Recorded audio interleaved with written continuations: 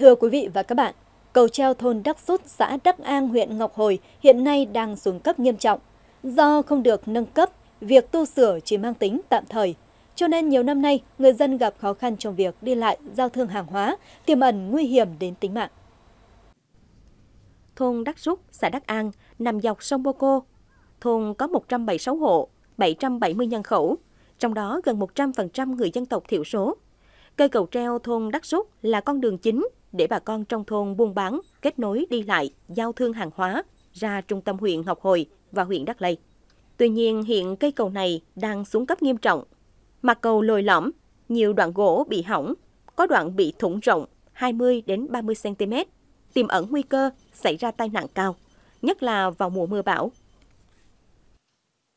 Vừa rồi với năm ngoái thì có một ờ, trường hợp thì ờ, trời mưa to lúc đó ổng chạy xe rồi cũng ờ, bị rớt cả, cả chiếc xe mà hôm sau nữa có ông kia cũng ờ, rớt một chiếc uh, xe xe độ kéo xe xe độ là kéo là cũng bị rớt Thưa quý vị và các bạn, hiện tại thì tôi đang có mặt tại cầu treo thôn Đắc Sút, xã Đắc An, huyện Ngọc Hồi.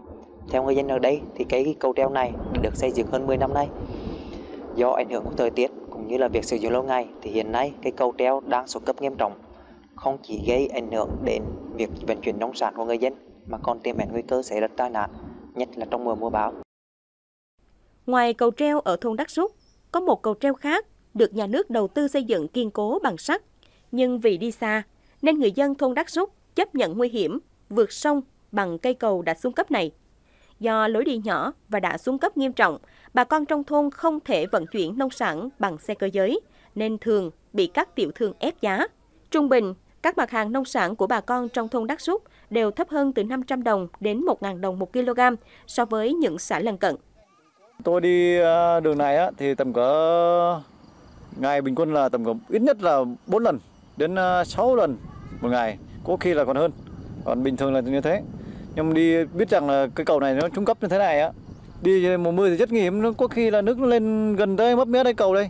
Nhưng bây giờ không đi đường này không được, không được. Đi đường kia nó quá xa. Đấy. Đi cả đi cả về tới hai mươi mấy cây số cơ.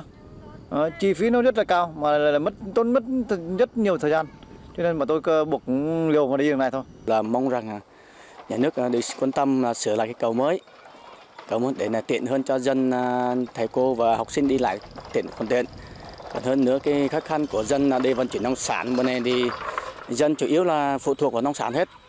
Như mỗi khi thì vận chuyển nông sản qua bên kia thì rất là khó khăn nhiều, nhiều khi nếu mà bên đây thì nó bên kia giá nó cao hơn bên mình đây. Hàng năm, cây cầu treo thôn Đắc Súc đều được duy tu sửa chữa. Tuy nhiên vì đã hư hỏng nặng, nguồn kinh phí của địa phương lại hạn hẹp, không đủ điều kiện để nâng cấp xây mới. Để đảm bảo an toàn cho người dân, Ủy ban Nhân dân xã Đắc An đã vận động, hướng dẫn sửa chữa, thay những tấm ván hư để đi lại tạm và quy định người dân không được chở hàng hóa có trọng lượng quá tải khi qua cầu.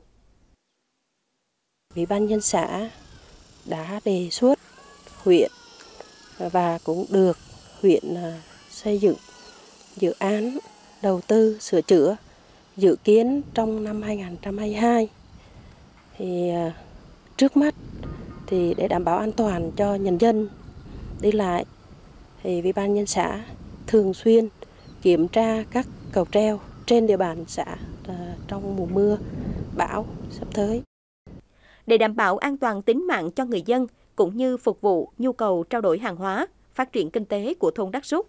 Rất mong chính quyền các cấp quan tâm sớm đầu tư xây dựng cầu mới để tránh những tai nạn đáng tiếc có thể xảy ra.